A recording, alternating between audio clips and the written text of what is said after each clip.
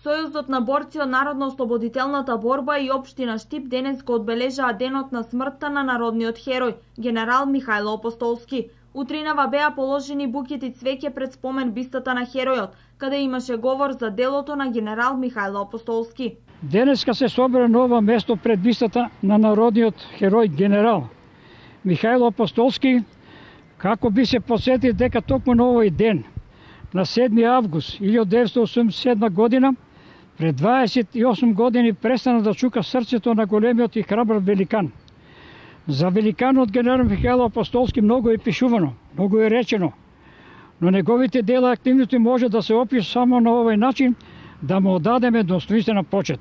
Михајло Апостолски бил македонски партизан, генерал, командант на Народно-ослободителната борба, воен теоретичар, политичар, историчар и народен херој. Основното и средното училиште ги завршил во Штип. Во 1927 година ја завршил Воената академија во Белград, во 1933 Високата воена академија, а во 1938 година ја завршил и Генералштабната академија.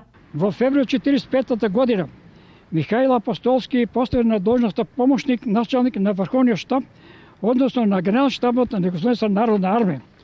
Од 46 до 52 година Михаил Апостолски е командант на Сараевската војна област. Во 1958 година ја врши должноста началник на Високата војна академија и началник на пешадијата на Југословенската војска. Пензионира во чин генерал полковник во 1958 година.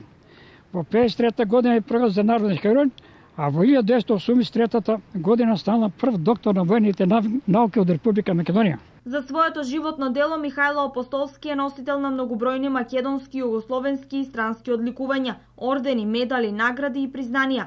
Во 1953 година бил одликуван со орденот Народен херој. Добитник е и на наградата Авној во 1978 година, највисоката награда која доделувала Сафараја. Генералот Михајло Апостолски починал на 7 август 1987 година во Дојран, во 81 година од својот живот. Во негова чест денес Војната академија генерал Михајло Апостолски во Скопје го носи неговото име.